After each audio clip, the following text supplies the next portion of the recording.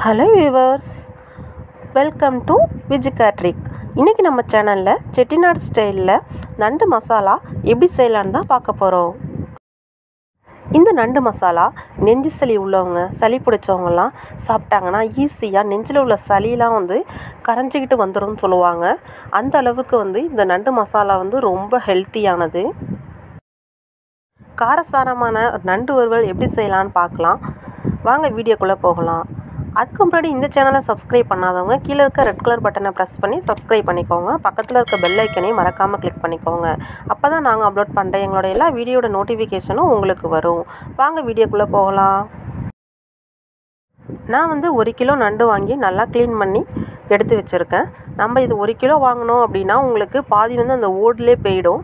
So அதனால் ஒரு முக்கால் கிலோ அப்படின்னா அரை கிலோ அளவு நமக்கு நண்டு கிடைக்கும். நண்டு எப்படி க்ளீன் பண்ணுறங்கிற வீடியோ என்னோடய சேனலில் நான் போஸ்ட் பண்ணியிருக்கேன். ஸோ அதையும் வாட்ச் பண்ணிவிட்டு அதுக்கு மறக்காமல் கமெண்ட்ஸ் பண்ணுங்கள் நண்டை வறுக்கிறதுக்கு முன்னாடி ஃபஸ்ட்டு நம்ம மசாலாலாம் அரைச்சி எடுத்து வச்சுப்போம். இப்போ நான் ஒரு மிக்ஸி ஜாரில் ஒரு டேபிள் ஸ்பூன் அளவு மிளகு சேர்த்துக்கிறேன். ஒரு டேபிள் ஸ்பூன் அளவு ஜீரகம் சேர்த்துக்கிறேன். பெருஞ்சீரகம் ஒரு ஸ்பூன் சேர்த்துக்கிறேன். பெரிய வெங்காயம் ஒரு மூணு வெங்காயம் வந்து நான் கட் பண்ணி சேர்த்துக்கிறேன். உங்கள்கிட்ட சின்ன வெங்காயம் இருந்துச்சுன்னா நீங்கள் அதை சேர்த்துக்கலாம் தாராளமாக கருவேப்பிலை கொஞ்சமாக சேர்த்துக்கிறேன். இது வந்து நல்ல மனம் கொடுக்கும் உங்களுக்கு. ஒரே ஒரு பச்சை மிளகாய் சேர்த்துக்கிறேன். இப்போ நம்ம இதை தண்ணி சேர்க்காம நல்லா கொர கொரன்னு அரைச்சி எடுத்துக்கலாம். நம்ம தட்டி வச்சா எப்படி எடுப்போமோ அது மாதிரி நல்லா அரைச்சி எடுத்துக்கலாம். அதை பாருங்கள் நல்லா கொர கொரன்னு நமக்கு அரைஞ்சி வந்திருக்கு பாருங்கள் இந்த மாதிரி கன்சிஸ்டன்சியில் தான் எடுக்கணும். நெக்ஸ்ட்டு தேங்காய் மசாலா அரைச்சி எடுத்துக்கலாம். முக்கால் மூடி அளவு நான் தேங்காய் வந்து திருவி எடுத்து வச்சுருக்கேன். அதை வந்து நான் மிக்ஸி ஜாரில் சேர்த்துக்கிறேன்.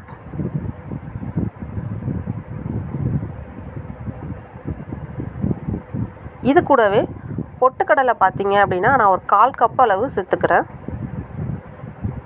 ஸ்பூன் கணக்குன்னு பார்த்தீங்கன்னா ஒரு மூணு ஸ்பூன் வந்து சேர்த்துக்கோங்க.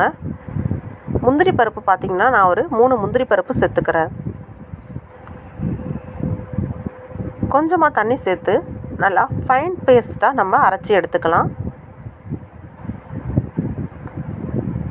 இப்போ நான் நல்லா ஃபைன் பேஸ்ட்டாக அரைச்சி எடுத்துட்டேன். நல்ல அகலமான கடாயில் எண்ணெய் சேர்த்து நல்லா எண்ணெய் ஹீட் ஆகிட்டுருக்கு இப்போ நான் இதில் ஒரு ஸ்பூன் பெருஞ்சீரகம் சேர்த்துக்கிறேன். ரெண்டு துண்டு இலை சேர்த்துக்கிறேன். நல்லா ஃப்ரை ஆகட்டும். வெங்காயம் பார்த்தீங்க அப்படின்னா நான் பெரிய வெங்காயம் எடுத்து ஒரு நாலு வெங்காயம் எடுத்து நல்லா பொடியாக கட் பண்ணி வச்சுருக்கேன். அதை வந்து நான் சேர்த்துக்கிறேன். வெங்காயம் நல்லா வதங்கட்டும். இதுக்கு எண்ணெய் பார்த்தீங்கன்னா ஒரு கால் கப் அளவாவது எண்ணெய் தேவைப்படும். பச்சை மிளகாய் வந்து ஒரு மூணு பச்சை மிளகாய் எடுத்து நான் கீரி எடுத்து வச்சுருக்கேன். அதையும் நான் சேர்த்துக்கிறேன். கருவேப்பிலை கொஞ்சமாக சேர்த்துக்கிறேன். கொஞ்சமாக நான் சால்ட்டு சேர்த்துக்கிறேன். வெங்காயம் அப்போ தான் உங்களுக்கு ஈஸியாக வந்து வதங்கும். இப்போ நல்லா ஃப்ரை ஆகட்டும். நெக்ஸ்ட்டு ஒரு மூணு தக்காளி எடுத்து நான் நல்லா பொடியாக கட் பண்ணி வச்சுருக்கேன். அதையும் நான் சேர்த்துக்கிறேன். இப்போ நல்லா வதங்கட்டும். வெங்காயம் தக்காளி நல்லா வதங்கணும். நெக்ஸ்ட்டு இஞ்சி பூண்டு பேஸ்ட்டு பார்த்தீங்க அப்படின்னா ஒரு நான் ரெண்டு டேபிள் ஸ்பூன் அளவு சேர்த்துக்கிறேன். இஞ்சி பூண்டு பேஸ்ட்டு எப்போவும் தனியாக சேர்த்தா தான் நல்ல வாசனை கொடுக்கும். நெக்ஸ்ட்டு நம்ம அரைச்சி வச்சுருந்த மிளகு ஜீரகம் அந்த வெங்காய மசாலா இருக்குல்ல அதை சேர்த்துக்கிறேன். ஏன்னா இதோட பச்சை வாசனை எல்லாமே நல்லா போகணும். ஸோ அதனால் நல்லா வதக்கிக்கோங்க. இந்த மசாலா உடம்புக்கு அவ்வளோ நல்லதுங்க. ஏன்னா இந்த மிளகு ஜீரகம் வெங்காயம் இதை சேர்க்கும் போதே நமக்கு உடம்புக்கு ரொம்பவே ஹெல்த்தியானது. இப்போ நல்லா வதங்கிட்டுருக்கு. நெக்ஸ்ட்டு தேங்காய் மசாலாவை வந்து நான் சேர்த்துக்கிறேன்.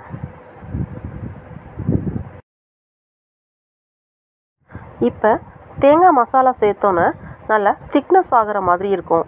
ஸோ அதனால் நல்லா ஒரு டம்ளர் அளவு தண்ணி எக்ஸ்ட்ரா சேர்த்துக்கோங்க. இப்போ நல்லா தண்ணி சேர்த்து மிக்ஸ் பண்ணியாச்சு. இதில் ஒரு டேபிள் ஸ்பூன் அளவு மஞ்சள் தூள் சேர்த்துக்கிறேன். ஒரு ஸ்பூன் அளவு மிளகாய்த்தூள் சேர்த்துக்கிறேன்.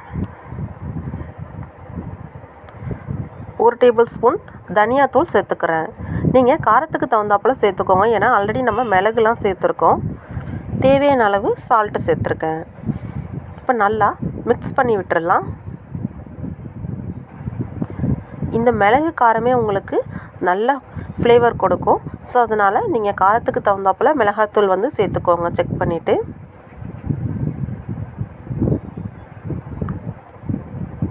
இப்போ நல்லா மிக்ஸ் பண்ணியாச்சு. மசாலா எல்லாம் ரெடியாக இருக்குது இது ஒரு ரெண்டு நிமிஷம் கொதிக்கட்டும்.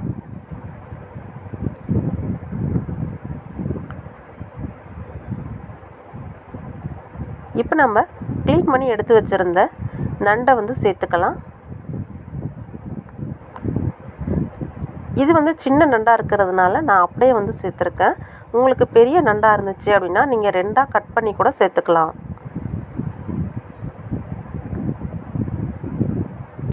இந்த நண்டு மசாலா இப்போவே நல்லா கமகமன் வாசனை வருது.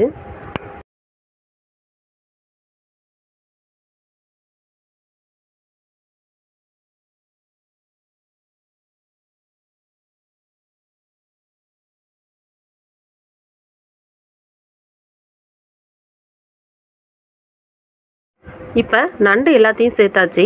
நல்லா மசாலாவோட மிக்ஸ் பண்ணி விடுங்க. இதில் நம்ம இப்போ எதுவும் தண்ணிலாம் சேர்க்க தேவையில்லை. ஏன்னா நண்டுலேருந்து பார்த்திங்கன்னா தண்ணி வந்து நல்லா பிரிஞ்சு வரும். ஸோ அதனால் நண்டு வந்து நல்லா வேகட்டும். இது மாதிரி நல்லா அகலமான பாத்திரமாக இருந்தால் தான் உங்களுக்கு வந்து கிண்டி விடுறதுக்கு ஈஸியாக இருக்கும். மசாலாலாம் நண்டோட நல்லா மிக்ஸ் ஆகிற அளவு கிண்டி விடுங்க. இப்போ நல்லா மிக்ஸ் ஆகிடுச்சு இது பார்த்திங்கன்னா ஒரு பதினஞ்சுலேருந்து இருபது நிமிஷம் வந்து வேகிறதுக்கு டைம் எடுக்கும். இப்போ நல்லா வேகட்டும். இப்போ ஒரு பத்து நிமிஷம் கழித்து பார்த்தோம் அப்படின்னா பாருங்கள் நண்டுலேருந்து தண்ணி நல்லா பிரிஞ்சு வந்திருக்கு பாருங்கள் நல்லா வேகட்டும். மசாலாலாம் நல்லா வெந்து அந்த தண்ணி வந்து நமக்கு நல்லா சுண்டி வரணும். இப்போ பாருங்கள் நல்லா கொதிச்சிட்டு இருக்கு. இப்போ கொஞ்சம் ட்ரை ஆகிருக்கு இடையில இடையில கரண்டியை வச்சு கிண்டி விடுங்க. அப்போ தான் அடி பிடிக்காமல் இருக்கும் உங்களுக்கு. இப்போ மசாலாலாம் நல்லா சுண்டி வந்துருச்சு. இன்னும் ஒரு ஃபைவ் மினிட்ஸில் நமக்கு ரெடி ஆகிடும் இப்போ செட்டிநாட் ஸ்டைல் நண்டு மசாலா ரெடி ஆகிடுச்சி இப்போ பாருங்கள் நமக்கு நல்லா திக்னஸ் ஆகிடுச்சு மசாலாலாம் நல்லா சுண்டி வந்திருக்கு. இதை நீங்கள் ரைஸில் கூட வச்சு சாப்பிட்லாம். அந்த பதத்தில் தான் இருக்குது நல்லா நண்டும் வந்து நல்லா வெந்துருச்சு. இந்த நண்டு சாந்து அப்படி ஒரு டேஸ்ட்டாக இருக்குங்க. இதை ரசம் கூடலாம் வச்சு சாப்பிட்டோம் அப்படின்னா டேஸ்ட்டு சொல்லவே வேணாம். சூப்பராக இருக்கும். நண்டோட அந்த நடுப்பகுதியில் உள்ள அந்த சதை வந்து நல்லா இனிப்பாக இருக்கும். சாப்பிட்டுக்கிட்டே இருக்கலாம். அந்த அளவுக்கு வந்து நமக்கு ஆசையாக இருக்கும். நீங்கள் ஒரு டைம் ட்ரை பண்ணிட்டீங்க அப்படின்னா கண்டினியூவாக நீங்கள் நண்டு சாப்பிட ஆரம்பிச்சிருவீங்க.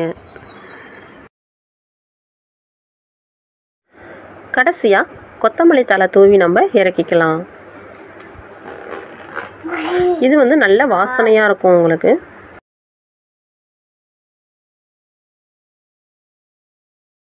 நல்ல காரசாரமான மசாலாலாம் பக்குவமாக சேர்த்து அரைச்சி விட்ட செட்டிநாடு நண்டு வறுவல் ரெடி ஆயிடுச்சு.